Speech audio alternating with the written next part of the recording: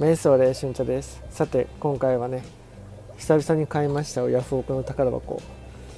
どんくらい久しぶりかっていうとねまあ動画で公開してるとそんなに空いてないように見えるんだけど実際はね1ヶ月ぐらい空いたかな。そんなに空いてないように見えるかもしれないけど結構毎日チェックしてるのでそのチェックをしている回数とか見てる頻度に比べたら1ヶ月に1回っていうのはかなり少ないなって思います。で今回はねちょっと大盤振る舞いして買いましたので楽しみですね。開けてみます。でこの出品者はねたまに買ったことはあるんだけど結構いいんだよね。いいっていうのは写真で見るよりも可愛い子が届く。しかも今回はねちょっとキャパオーバーなんだけど金魚飼育の場所とか。だけど買っちゃいました。意外とね安かったもんでね。思ってたよりは。だから多少競ったけど落札しちゃいました。ということでまずは生きててください。かなりね重いから水の量がたくさん入ってますね。生きてるか？生きてるか？おお生きてますね。じゃーん。じゃんじゃじゃん。おおこの魚影は。この魚影はこのぷっくら感はこれは何だ？これこれ何？何って思うよね一瞬。一応名目はまあいいや。とりあえず横から見るか。こんなんじゃね拉致かあかんで。はい。導入完了しました。こちらはですね一応名目は変わりオランダ、うんうんうん。うん、でも多分言いようによっていろいろあると思う。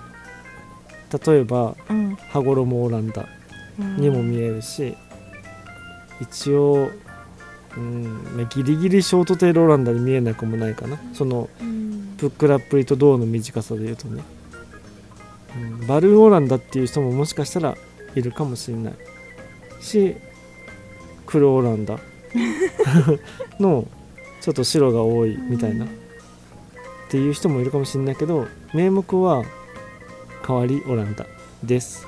こちらね1 7センチ。大きいね。1 7センチ大きいよね、うん、しかもこのぷっくらの1 7センチだからボリュームがあるよね。でこちらがね確か送料が高いんだよ。2500円なんだけど、うん。うん、本当にどう重い水が。だから多分ね2500円か分かんないけど10キロ以上入ってんじゃないかな水。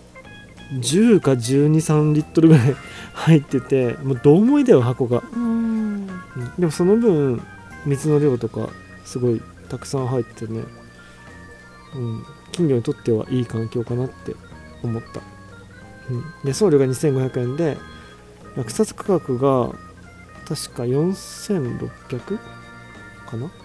違うわ。4300ぐらいでクーポンとポイント使って6666円なり。揃っちゃった。ちょうどそうなっちゃったんだね、うん、すごいね。そう、うん、で俺ってさ、うん、1匹の金魚に7000円以上使ったことがないんだよ、うん、いつも高くても6000円台なのね。だからもしかしたらこの子今までで一番高いかもしれない。6666円。もしくはそれに近い。最高新記録に近い私って5000円だっけ、そうこの間のオランダね。黒オランダ、うん、うんうん。そう。でねまあもちろん可愛いんだけどちょっとこの背びれが破れてる、うん、うん、これはね気づけなかった写真では。ああ、うん、でもどうかな？治るかな、うん、治るかどうかわかんないけど、まあ、ひとまずそこがすごい目につくかな、そうだね。うん。ただまあそんくらいいいかなって感じ個人的に、でまあ、これも説明文に書いてあったんだけどちょっと太りすぎだもんで、うん、太りすぎ。下を向いて泳ぐ癖が多少あるって書いてあった、うん、知ってる知ってる書いてあったね。だもんでねこのボリューム感と大きさにしては最初1000円スタートだったんだよね。なんでかなり安くスタートして、うんまあ、ちょっと競ったもんで高くなっちゃったけど、まあ、結果的にうちに来るようになってね、まあ、これもご縁だなって思うね。それでそうだな。俺の中ではうん。どっちかっていうとショートテローランドの部類かな。扱いとしては、そううね。ん。なんか頭も大きくない、うん。なんかモコモコもそうなんだけどそもそもこの比重っていうかさ頭でっかちじゃん。うん。これショートテローランダっぽい感じだよね、後ろからなんか。うん、そうこの2匹めっちゃ仲いいじゃんねずっと、そううん。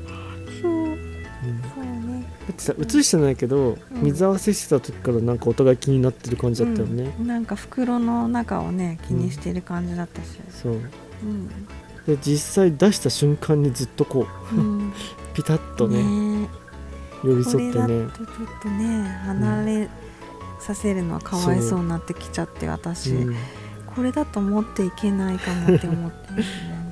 ねこれ前の動画見てない人のために言うと、うん。この白ヤンボうんうん。は、ナオミンの金魚じゃんね。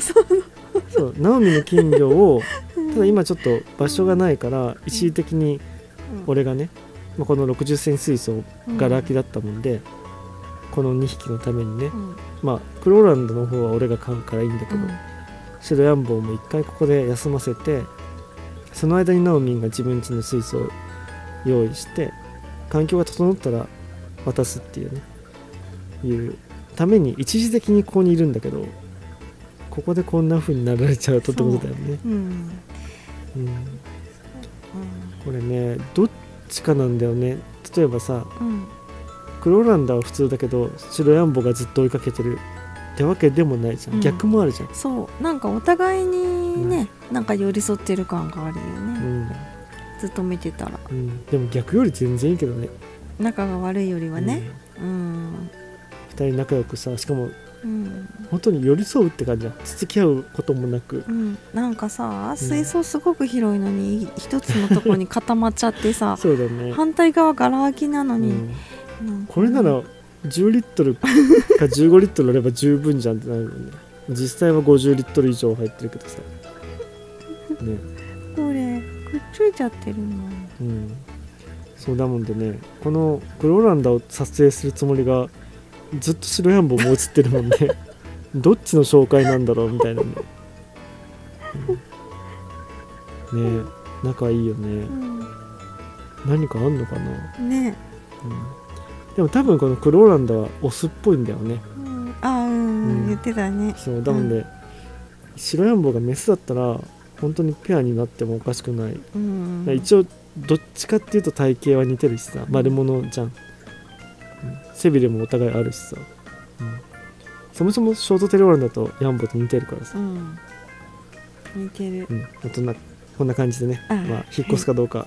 ちょっとうん雲行きが怪しくなってきたけど、ね、もしかしたら俺が買い取るかもしれない このまま。